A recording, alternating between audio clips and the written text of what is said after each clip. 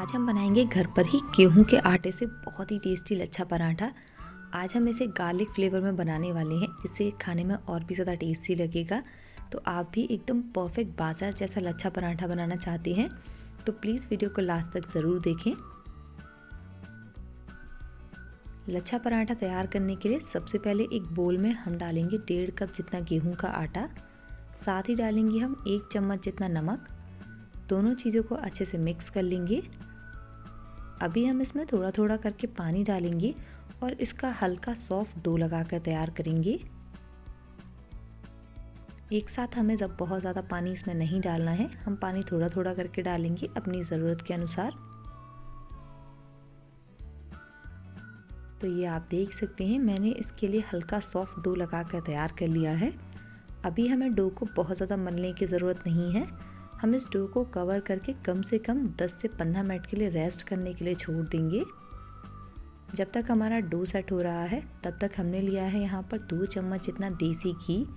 घी को हम अच्छे से फेंटेंगे। इससे क्या होगा, घी जो है वो एकदम लाइट हो जाता है और एकदम क्रीमी टेक्सचर में आ जाता है।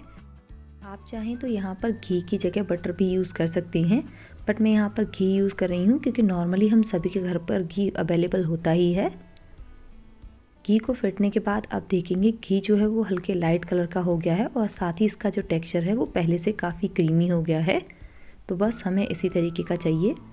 अभी हम इसमें डालेंगे एक बारीक कटी हुई हरी मिर्च थोड़ा सा बारीक कटा हुआ हरा धनिया, आधा चम्मच जितना चिली फ्लेक्स या फिर दरदरी कुटी हुई लाल मिर्च, एक पिंच गरम मसाला, एक पिंच जितना आमचूर पाउडर एक पिंच जितना हल्दी का पाउडर सभी चीज़ों को डालकर अच्छे से मिक्स कर लेंगे।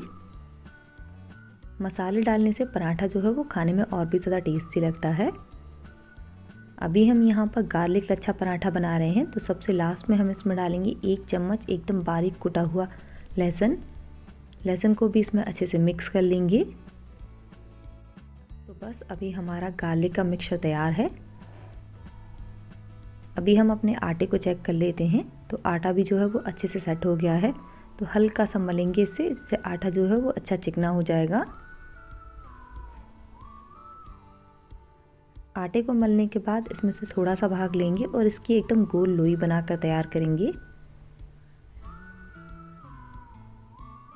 लोई के ऊपर लगाएँगे थोड़ा सा सूखा आटा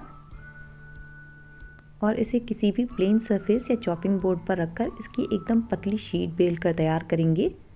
हमें इसकी शीट थोड़ी बड़ी बेलनी है, जितना हम नॉर्मल पराठा बेलते हैं, उससे भी ज़्यादा।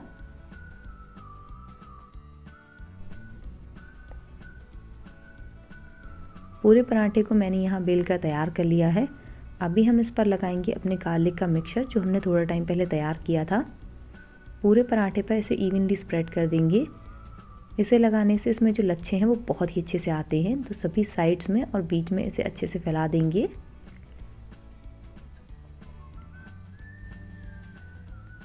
गार्लिक के मिक्सचर को लगाने के बाद अभी हम इसे फ़ोल्ड करेंगे। तो फ़ोल्ड करने के लिए इसे सबसे लास्ट में इस तरीके से पकड़ेंगे और इस तरीके से फ़ोल्ड करते जाएँगे, जैसे हम बचपन में छोटे बच्चों के लिए फ़ैन बनाते थे ना सेम उसी तरीके से। बस इस तरीके से फ़ोल्ड करते जाना है। आप देख सकते हैं मैं किस तरीके से कर रही हूँ। जब हम इसे इस तरीके से फ़ोल्ड करते हैं तो इससे इसमें लच्छे जो हैं वो बहुत ही अच्छे से आते हैं। फ़ोल्ड करने के बाद इसे हल्का सा इस तरीके से खींच कर लंबा करेंगे। अभी हम इसे एक साइड से घुमाते हुए इस तरीके की इसकी एक लोई बनाएँगे। इसके बीच में ज़्यादा जगह नहीं होनी चाहिए। इसे हल्का टाइट फोल्ड करना है हमें।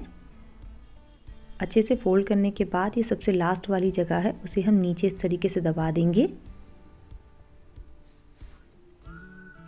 और अभी इसके ऊपर लगाएँगे थोड़ा सा हरा धनिया और साथ ही लगाएँगे थोड़े से काले तिल यानी कलौजी, जिससे पराठा जो है वो देखने में और भी ज़्यादा अच्छा लगता है। अभी इसके ऊपर लगाएँगे थोड़ा सा सूखा आटा, जिससे हमें पराठा बेलने में आसानी रहेगी। जब भी आप लच्छा पराठा बेलें तो उसे बहुत ज़्यादा प्रेशर के साथ बिल्कुल ना बेलें, उससे उसके लच्छे अच्छे नहीं खुलते हैं। तो बस हल्के हल्के हाथ से इसे बेलते जाएँगे, और पराठे को हमें बहुत ज़्यादा बड़ा नहीं बेलना है। लच्छा पराठा हम हल्का मोटा ही रखेंगे।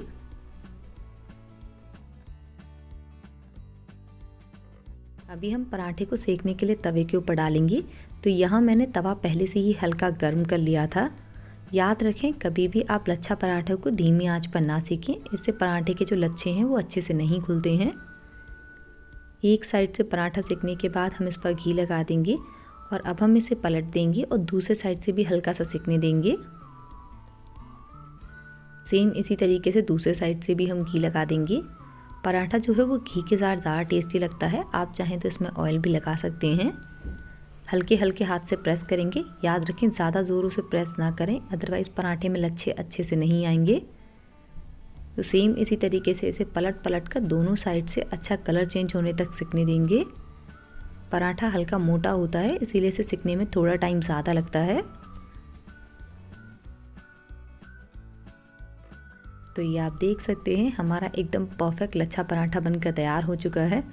और देख रहे हैं ना इसमें कितने परफेक्ट लच्छे। तो अभी मैं आपको इस पराठे को खोल कर दिखाती हूँ। इसे हल्का सा हाफ़ हाथों से इस तरीके से करेंगे तो उसके जो सारे लच्छे हैं वो एकदम अलग अलग हो जाएँगे। लग रहा है ना देखने में बहुत ही ज़्यादा टेस्टी तो इस तरीके से आप गेहूँ के आटे से ही बहुत ही टेस्टी लच्छा पराठा बनाकर तैयार कर सकती हैं, जो खाने में काफ़ी ज़्यादा हेल्दी भी है। तो प्लीज़ आप भी इस रेसिपी को एक बार ज़रूर ट्राई करें। तो एक बार फिर से मिलेंगे हम इसी तरीके की एक और इंटरेस्टिंग रेसिपी के साथ। तब तक के लिए बाय बाय